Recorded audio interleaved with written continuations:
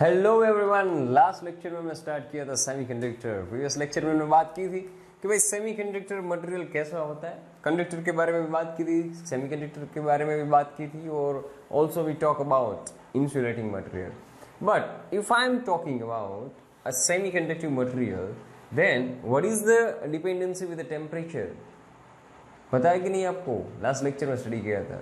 जब मैं सेमीकंडक्टर मान लो कि सेमीकंडक्टर मटेरियल है मैं उसको ज़ीरो से लेके मैं कोई हायर टेम्परेचर पे मैं ले जाऊँ। यानी कि उसके टेम्परेचर बढ़ने के साथ साथ उसका रजिस्टिविटी का रिलेशन कैसा है? उसकी रजिस्टिविटी क्या होती है? डिक्रीजेस होती है। लेकिन उसकी कंडक्टिविटी क्या होगी? इंक्रीज होगी। यानी कि जैसे जैसे मैं टेम्परेचर को बढ़ाता हूँ वैसा वैसे उसकी रजिस्टिविटी डिक्रीज होगी एंड उसकी कंडक्टिविटी क्या होगी? इंक्रीज होगी। तो ये मैंने लास्ट लेक्चर में स्टडी किया था। Now we going to discuss about the energy band gap लेकिन एनर्जी बैंड गैप को स्टडी करने से पहले मैं एक ज़रूरी बात आपके साथ डिस्कस करना चाहता हूँ। वो है सेमीकंडक्टर मटेरियल के बारे में। हमारे पास मान लो कि सेमीकंडक्टर के दो एग्ज़ाम्पल है, एक सिलिकॉन है और एक जर्मेनियम है। सिलिकॉन के एटॉमिक नंबर पता है आपको? 14 है और जर्मेनियम के कितने हैं? 32 है। वैसे आपको पता ही है, मैं लेकिन आपको बता रहा हूँ फिर से, आपका केमिस्ट्री अच्छा ही है। तो अगर मैं बात करूँ कि एग्ज़ाम्पल दूँ कि सिलिकॉन एटम के बारे में सिलिकॉन का एटॉमिक नंबर है फोर्टीन मैंने कोई बोहर का, पता है ना, बोहर के बारे में? बोहर का एटॉमिक स्ट्रक्चर एटॉमिक मॉडल मैंने ड्रॉ किया है यहाँ पर। तो एटॉमिक ये है हमारा न्यूक्लियस हो गया कंसिस्टिंग ऑफ़ पी यानी कि प्रोटॉन एंड एन यानी कि न्यूट्रॉन ये कंसिस्ट कर रहा है। फ़र्स्ट ऑर्बिट कितने इलेक्ट्रॉन को कंसिस्ट करेगी? बताया कि नहीं? टू इलेक्ट्रॉन को। तो मैंने ड्रॉ कर दिया कि भाई यहाँ पर दो इलेक्ट्रॉन फोर्टीन में से टू इलेक्ट्रॉन यहाँ पर आ गए। दूसरे कहाँ पर है? सेकेंड ऑर्बिट ने सेकेंड ऑर्बिट में कितने इलेक्ट्रॉन हो सकते हैं? एट ज़्यादा से ज़्यादा एट इलेक्ट्रॉन हो सकते हैं। तो मैंने एट इलेक्ट्रॉन ड्रॉ कर दिए। One two three four five six eight और ये सेवन सो so, हमने ये भी ड्रॉ कर दिया। सेकेंड ऑर्बिट भी फुल हो गई फुल्ली फुल यानी कि थर्ड ऑर्बिट में क्या है? थर्ड ऑर्बिट में भी कितने इलेक्ट्रॉन कंसिस्ट कर सकते हैं? पता है कि नहीं? There is eight electron but हमारे पास तो कितने बचे? देख लेता हूँ, कितने बचे वो भी देख लेता हूँ।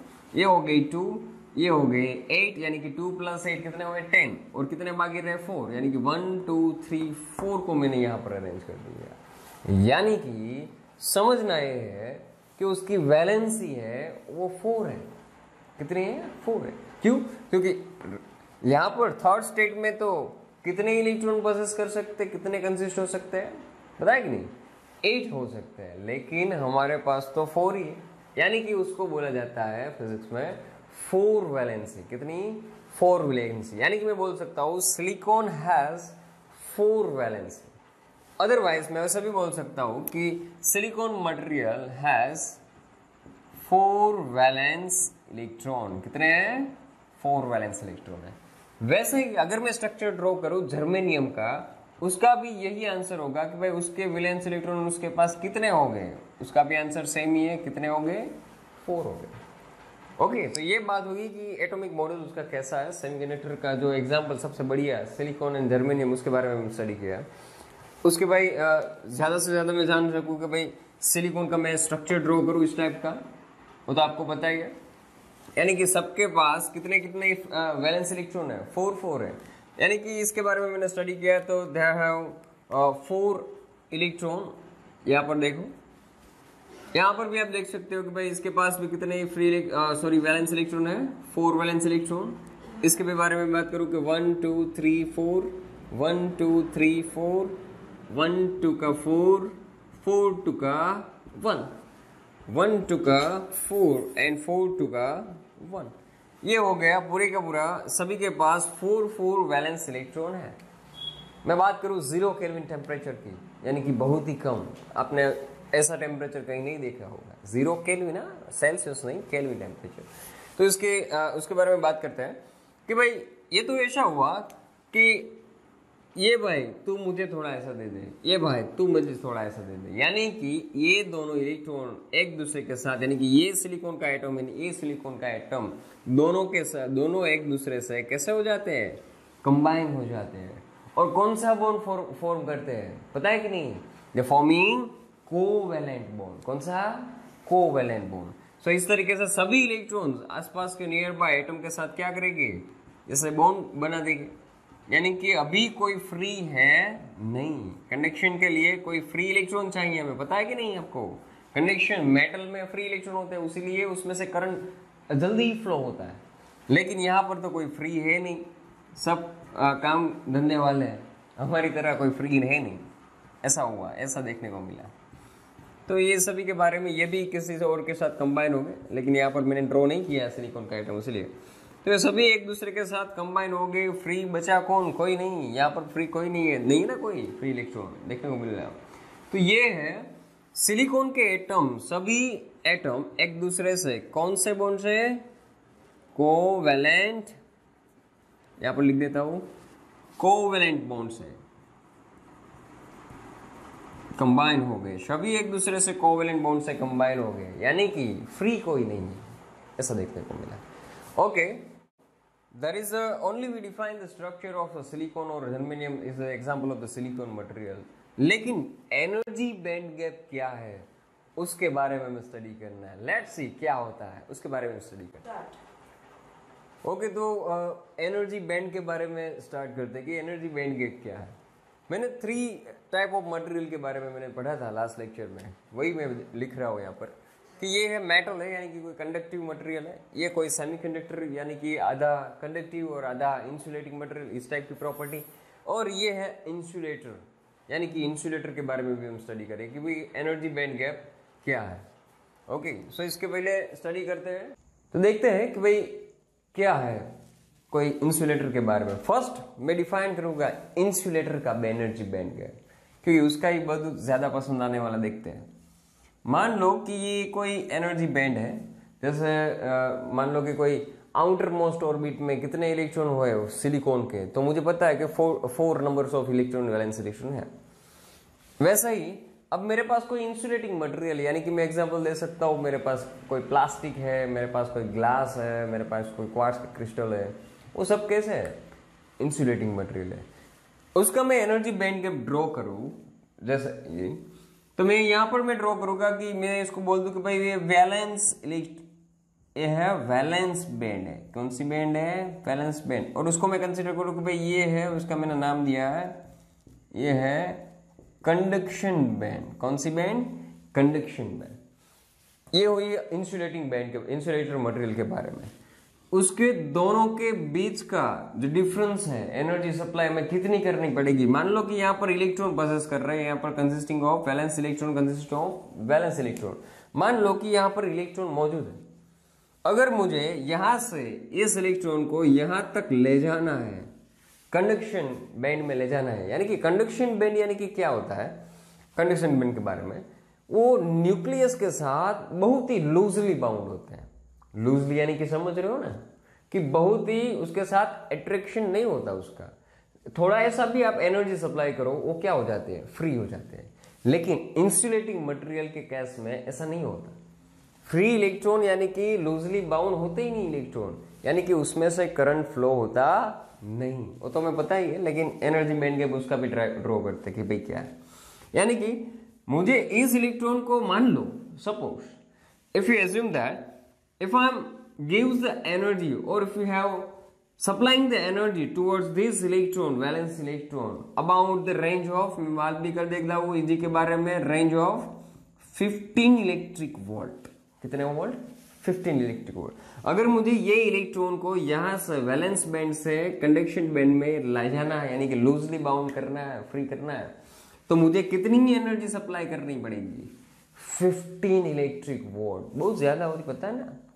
इतनी एनर्जी सप्लाई करनी पड़ती है। यानी कि उसके बीच, दोनों के बैंड के बीच का जो डिस्टेंस है, जो फासला है, वो बहुत ही ज़्यादा है। ये मानने को, ये देखने को मिला मैं किसके में किसमें इंसुलेटिंग मटेरियल में।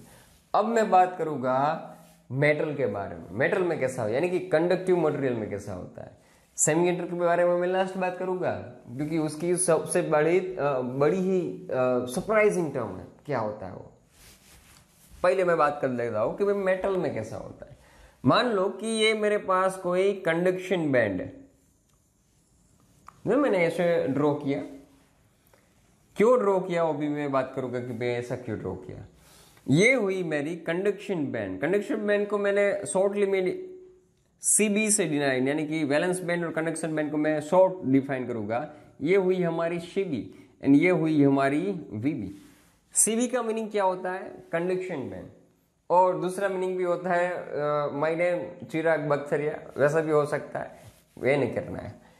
अभी के लिए ये रखो कंडक्शन बैंड है सीबी और ये है हमारी वैलेंस बैंड अगर मैं बात करूँ कि वैलेंस बैंड में इलेक्ट्रॉन है, मान लो कि इलेक्ट्रॉन वैलेंस बैंड में है तो वो किसके इलेक्ट्रॉन हुए वो कंडक्शन बैंड में भी है, क्योंकि उसकी जो बैंड गैप है, उसके बीच का जो फासला है, वो कुछ है ही नहीं।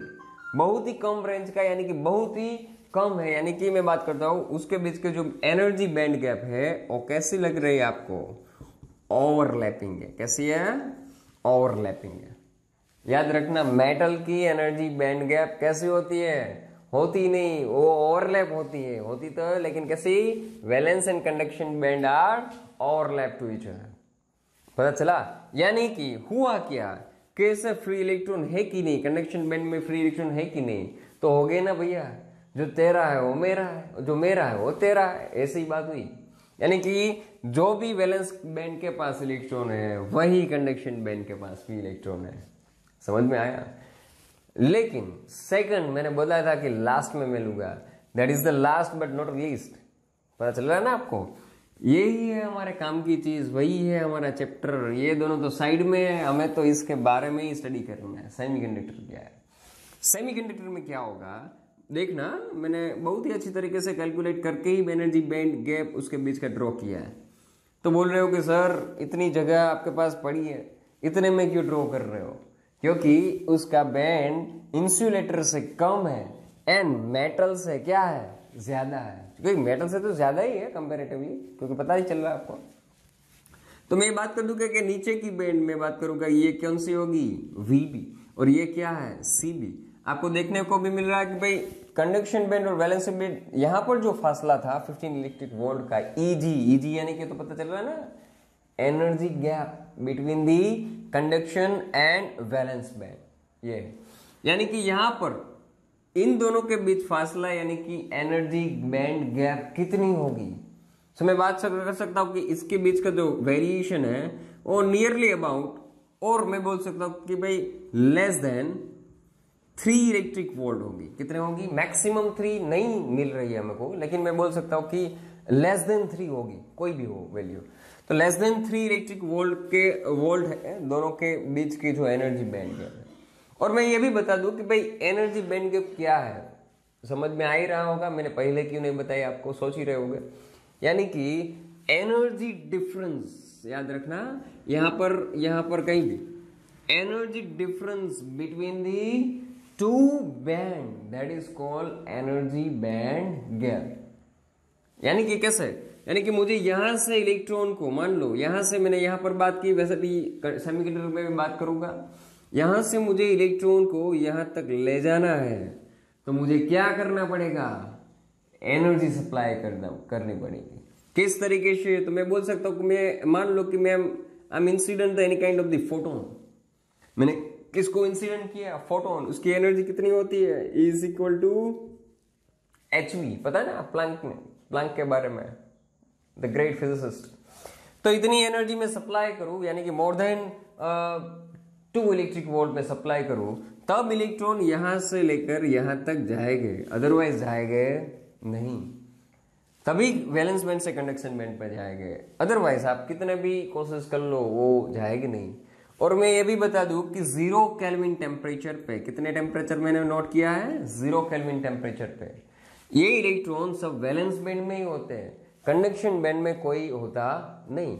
अगर मैं बात करूँ कि भाई लास्ट लेक्चर के बारे में इसका रिलेशन टेम्परेचर के साथ। तो है ना whenever we increase the temperature of the semiconductor material then resistivity of the semiconductor material will be decreases so conductivity will be increases यहाँ सेटिस्फाइड हो रही है। अगर मैं ज़ीरो कैलविन टेम्परेचर से कोई टेम्परेचर को मैं बढ़ा रहा हूँ, यानी कि मैं बात करूँ कि भाई रूम टेम्परेचर पे आ रहा हूँ, यानी कि बहुत ज़्यादा टेम्परेचर कैलविन में तो बहुत ज़्यादा होगा। ओ टेम्परेचर पे आऊँ, यानी कि मैं टेम्परेचर को क्या कर रहा हूँ? बढ़ा रहा हूँ। ये टेम्परेचर को मैं ज़ीरो से लेकर बढ़ा रहा हूँ। तब उसकी रेजिस्टिविटी क्या होगी? डिक्रीज होगी और उसकी कंडक्टिविटी थोड़ी ऐसी बढ़ेगी। मेटल के जितने तो नहीं होगी इंसुलेटर से तो काफ़ी ज़्यादा अच्छी है। लेकिन मेटल से तो क्या होगी? कम होगी उसकी कंडक्टिविटी जो भी है, लेकिन थोड़े ऐसे फ्री इलेक्ट्रॉन यानी कि थोड़े ऐसे लूजली बाउंड इलेक्ट्रॉन आपको दिखने को मिलेंगे। खास करके सेमीकंडक्टर मटेरियल में। सो so, यहाँ से यहाँ तक का फासला आपको मान लो ये समझना है कि तय करना है तो आपको एनर्जी इतनी सप्लाई करनी पड़ेगी लेस देन थ्री इलेक्ट्रिक यानी कि टू से लेकर थ्री यानी कि मैं बात कर सकता हूँ वन से लेकर थ्री तक। इतनी एनर्जी सप्लाई करो तभी इलेक्ट्रॉन यहाँ से यहाँ ट्रांजिस्ट हो गए अदरवाइज़ हो गए नहीं। सो so, ये जो पूरे का पूरा कंसेप्ट है उसके मैं टॉपिक का नाम दे सकता हूँ एनर्जी बैंड गैप थियोरी कौन सी है? एनर्जी बैंड गैप ये बात पहले मुझे मेटल के बारे में, ये है सेमीकंडक्टर के बारे में और ये है इंसुलेटर के बारे में। यानी कि समझना ये है कि भाई यहाँ पर तो ओवरलैपिंग है, इसकी बैंड गैप बहुत कम है और इसकी बैंड गैप बहुत ही ज़्यादा है। यानी कि इसमें से करंट फ्लो होता नहीं और इसमें से उसकी कंडक्टिविटी तो क्या है? बहुत ही ज़्यादा है। और इसकी कंडक्टिविटी तो आपको पता ही, इन दोनों के बीच की, यानी कि सैंडविच की गई है। अब मैं उसकी डेफिनेशन को मैं डिराइव कर सकता हूँ। थोड़ी देर में मैं ये भी बताऊँगा कि उसकी डेफिनेशन क्या है। ओके